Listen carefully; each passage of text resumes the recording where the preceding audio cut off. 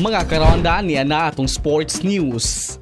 Gitakda sa Oktubre 8 ang rematch ni kanhing world champion Jerwin Ancahas kay Fernando Martinez. Pagahiwato na mong pagbangga pag-usab sa duha ka boksingero sa Los Angeles. Kahinumduman, sa unang away sa duruha gipildi sa Argentinian boxer si Ancahas pinaagi sa unanimous decision.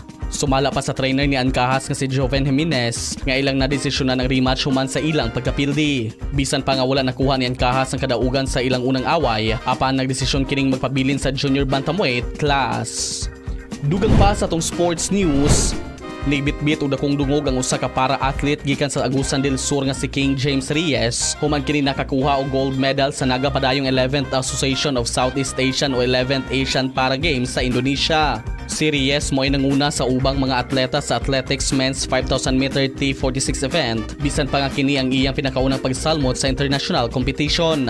Dugang pa, kanunay lamang siyang nagasunod sa atleta sa Malaysia hangtod nga naunhan niya kini human niyang nadikitan nga may resulta sa iyang pagkampiyon. Samtang aduna pay tulo ka events nga pagasalmutan si Reyes hinungdan nga ni apila kini og pagampo sa tanang mga Pinoy aron makuha usab niya ang gold medal sa nisgutang dula.